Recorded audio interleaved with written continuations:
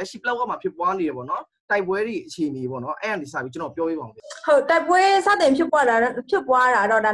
2015အားလုံးသိပြီဒါ2015စဖြစ်တယ်အဲ့ကနေပြီးဆို2019တဖြည်းဖြည်းချင်းပြင်းထန်လာတယ်18နည်းနည်းပြင်းထန်လာပြီးတော့19 20မှာတော်တော်လေးကိုစူးစမ်းဝါပြင်းထန်လာတယ်အဲ့တော့ကျမတို့တိုက်ပွဲအခြေအနေတွေကပြင်းထန်လာတဲ့အလျောက်ဒီစစ်ပေးဆောင်ကလည်းများလာတယ်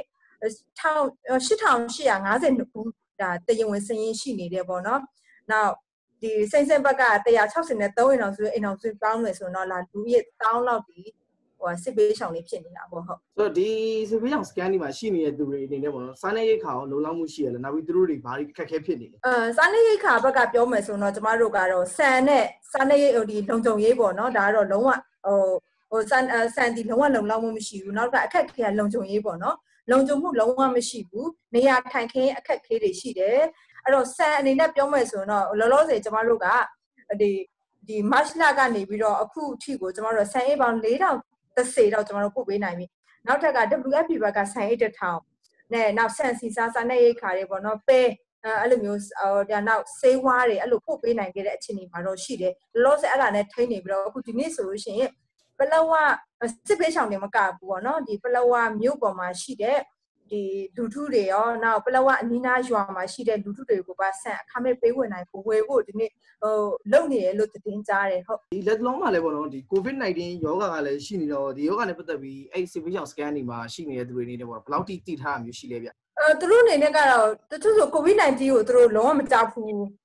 တချို့ကလေ covid-19 ဖြစ်လို့ဘာလို့သူတို့ပြောရသူတို့ဘယ်နေ့ကဟိုပေါ့နော်သူတို့ရဲ့ဖြစ်စဉ်ကိုယ်ခါကြရင်ကြောက်ပြီးတော့လေ ဟိုဘုံကမထင်မှတ်ထားပဲသူတို့ရွာကိုပြစ်လိုက်တဲ့ခါကျတော့လူတွေ psycho တွေဒီ trauma တွေဖြစ်သွားပြီးတော့ဘေးနေ့ဘေးရက်ကဘာဖြစ်ခဲ့လဲဆိုတာမပြောနိုင်တဲ့လူတွေထီကိုရှိတယ်ဟိုသူအရန်ကြောက်စိတ်ပဲရှိပြီးတော့အဲ့တော့ကျမတို့အနေနဲ့ကတော့ဒီ covid-19 ဖြစ်နေတဲ့အကြောင်းတွေကိုတော့ကျမတို့ဟိုရန်ပန်ရန်ကကျမတို့ဖုန်းတွေပြောတိုင်း interview တွေလုပ်တိုင်းသူတို့ကအဲ့ဒါပြောပြတယ် committee တွေကလည်းဒီအကြောင်းအရာတွေကိုကျမတို့ sharing လုပ်ပေးထားတယ်နောက်မြို့နယ်ဒီစေးရုံပေါ့နော် စေးရုံအုပ်တွေကလည်းဒီကိစ္စကိုနဲ့ပတ်သက်ပြီးတော့ awareness ကတော့လုပ်ပေးထားရရှိဒါပေမဲ့အဲလုံလုံလောက်တော့သူတို့ awareness မရထားဘူးလို့ကျမတို့သိထားတယ်ဟုတ်အဲ့လိုအကျိုးဆက်ကပေါ့နော်အခုက covid-19 ကလည်းကာကွယ်အောင်မယ်နောက်ပြီးတော့လူစုလူဝေးမလုပ်ရဘူးဒါပေမဲ့သူတို့တွေအနေနဲ့ကလည်းဒါလူစုလူဝေးနဲ့နေနေရတဲ့အခြေအနေပေါ့နော်ဆိုတော့ဒီအခြေအနေတွေမှာဒီ covid-19 ကာကွယ်မှုတွေအတွက်ပေါ့နော်သူတို့ရဲ့နေရာထိုင်ခင်းတွေကိုဘယ်လိုစီစဉ်ပေးထားတာမျိုးရှိလဲဒါပေမဲ့ကျမတို့လူစုလူဝေးကကြတော့မထားဖို့ဆိုတာကကျမတို့အရင်ခက်ခဲတယ်။ဘာလို့ဆိုတော့အခုက လူစုလူဝေးမထားဖို့လို့ဆိုလို့ရှိရင်ကျမတက်နေလို့လာမယ်။ဟိုကိုအိမ်အောင်စုလိုက်နေရမယ်။ဟိုတက်နေစမီးဘက်မဆိုအိမ်အောင်စု600ကျော်ရှိရယ်။ပလောဝဘက်မဆိုအိမ်အောင်စုကဟိုဟာလောက်ရှိရယ်။တစ်ထောင်နာကိုကတ်နေပြီ။အဲ့တော့အခုကျမတို့ကသူတို့အတွက်ကိုစီကိုစီအိမ်နေဖို့အတွက်အိမ်အောင်စုသူစုစီနေဖို့အတွက်တက်နေကျမတို့ဘာမှမလုပ်ပေးနိုင်ဘူး။စမီးဘက်ကို150ထောက်ပံ့ထားတာရှိတယ်။ချင်းပြင်းနေဆိုရရဲ့အကူညီနဲ့ပေါ့နော်။တချို့ဆိုလို့ရှိရင်ဒါဓမ္မယုံတွေမှာအဲ့လိုပြင်စုပြုံပြီးအဲ့လို နေကြရတဲ့အနေထားမှာဆိုကျမတို့ကလူစုလူဝေးမလုပ်ဖို့ဆိုတာကိုတော့ကျမတို့ပြောရင်ပဲပြောတာပဲရှိမယ်လက်တွေ့ကျမတို့ account ပေါ်ပုံမှန်အဲ့တော့သူတို့ကျမတို့လုပ်ပေးနိုင်တာဘာပဲရှိလဲဆိုတော့လက်ပုံမှန်ဆေးဖို့နဲ့ဒါဟိုဒီ hand ချေတော့ကျမတို့ဟိုတစ်ခါတော့ကလေးကကျမတို့ဒီ RCCI ပထမတစ်ချိန်သွားလှူပြီးကလေးက hand ချေတော့ကျမတို့အလှခံရရှိတဲ့ပတ်စံတွေကနေပြီးတော့ hand ချေတော့ကျမတို့ဝယ်ထားပြီးတော့သူတို့ဟို hand ချေပေးထားရတော့ရှိရပေါ့နော်အဲ့လောက်ပဲကျမတို့လုံနိုင်အောင်မယ်ဒီ situation scan သူတွေကိုပေါ့နော် ဒီပြည်ပြည်နယ်အစိုးရအနေနဲ့ရောဘာတွေများထောက်ပံ့ပေးရရှိလဲဗျဒီ covid ကာကွယ်ရေးနဲ့ပတ်သက်ပြီး COVID-19 နဲ့ပတ်သက်ရင်တော့ကျမတို့ကအခုနပြောသလိုပဲဟို COVID-19 ကိုကျမတို့ခေါင်းထဲမှာတိတ်မထည့်နိုင်တဲ့အနေအထားမှာရှိနေရပါတော့။ဥပမာတီးတိမ်ဘက်မှာလည်းအရင်အသေးအံဖြစ်နေတယ်။အဲ့တော့ကျမတို့ဘက်မှာကြောက်ကြောက်စရာကစစ်ဘေးကပိုကြောက်ရတဲ့အနေအထားပြီးတော့ COVID-19 ကိုကျမတို့ကတခါတလေကြောက်ဖို့တော့မေ့နေတဲ့အနေအထားမျိုးတွေဖြစ်နေတယ်။ အဲ့တော့ကျမတို့ကိုယ်တိုင်ကလည်းဟိုတက်နိုင်ဆုံးဒီဘက်မှာနေနေတဲ့လူတွေဆိုတော့ကျမတို့ကိုယ့်ကိုရအောင်ဟိုတက်နိုင်ဆုံးကာကွယ်တယ်။ဟိုဘက်လည်းပြပြတယ်ဒီလောက်ပဲကျမတို့ COVID-19 ကိုတော့ကျမတို့အခုချိန်ကြီးကတော့အခုနပြောသလိုပဲထိထိရောက်ကျွန်တော်တို့ဘာမှလုတ်ပေး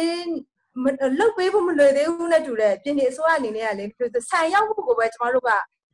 အားဆိုင်နေရတဲ့အနေထားပေါ့နော်ဒါဆိုရင်ခြုံပြောရရင်ဒီအခုချင်းပြည်နယ်ပလောဝစစ်ဖေးရှောင် scan နေတော့ပလောဝမြို့တွေစမီးမြို့တွေကဒီစစ်ဖေးရှောင်နေသူတွေက ဒီ covid-19 ချက်ဒါအခုကပြည်တွင်းစစ်ကိုပို့ပြီးတော့ကြောက်နေရတဲ့သဘောမျိုးဖြစ်နေတာပေါ့နော်အော်ဟုတ်တယ်အဲ့ဒါအမှန်ဆုံးပဲကျွန်တော်တို့ကစစ်ဘေးကိုပိုကြောက်တယ်လို့ပြောလို့ရတယ် COVID-19 တဲ့ဘာလို့ဆို COVID-19 ကကျွန်တော်တို့ကာကွယ်ရသေးတယ်အိမ်ထဲမှာနေပြီးကာကွယ်ရင်စစ်ဘေးကအိမ်ထဲမှာနေလဲမလုံကြဘူးဘယ်သွားတော့ကျွန်တော်တို့မလုံကြဘူးဘယ်ချိန်ကိုနောက်ကျောကိုကြီးကြလာမလဲဘယ်ချိန်ကိုအိမ်လေးကိုဟဘုံကျေးလာမလဲဆိုတဲ့အနေအထားမှာကျွန်တော်တို့ဘာမှခံမှန်းလို့မရဘူးပေါ့နော်ဆို အဲ့ဒီထဲမှာမှစာဝတ်နေရေးအခက်အခဲကပို့ပြီးတော့စိုးနေတဲ့အခါကျတော့ COVID-19 ကျွန်တော်တို့ကြောက်ဖို့အချိန်မရှိဘူးပေါ့ဟုတ်ဒါပေမဲ့အတက်နိုင်ဆုံးကျွန်တော်တို့ကာကွယ်ဖို့ကြိုးစားနေပါတယ်ဟုတ်အဲ့ဒီပြည်တွင်းစေရဲ့အကျိုးကျေးဇူးอ่ะဗောနော်ဒီခုချင်းပြည်နယ်ကဘလောက်ကတော့စီမီစမီဗောနော်စမီတို့စမီဒေတာရဲ့ဗောစီးပွားရေးနဲ့ဖွံ့ဖြိုးတိုးတက်မှုဘယ်လောက်ထိနှောင့်နှေးစေနိုင်လဲပြနှိပ်ပါသွားစေနိုင်လဲဗောနော်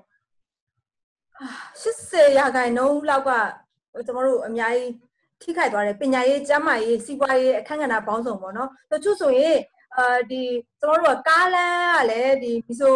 ဒီအိန္ဒိယနဲ့ပေါ့နော်ဒီကားလမ်းဖောက်ထားတာရှိတယ်နောက်ကလန်စီမံကိန်းအကျိုးပြုပြီးတော့လူထုတည်မျှော်လင့်ချက်အများကြီးရှိခဲ့တယ်တချို့ဆိုရင်ကလန်စီမံကိန်းကိုမှီပြီးတော့လူတချို့ဆိုရင်ဟိုအများကြီးရင်းနှီးမြှုပ်နှံထားတာဆိုစိုက်ပျိုးရေးကဏ္ဍမှာပေါ့နော်တစ်ပင်တွေတချို့ဆိုရင်အသီးနှံတွေစိုက်တယ်တချို့ဆိုရင်ငပြောပင်တွေစိုက်ထားရရှိရအခုရောင်းချလို့လုံးဝမရဘူးနောက်တစ်ခုကကြတော့အဲ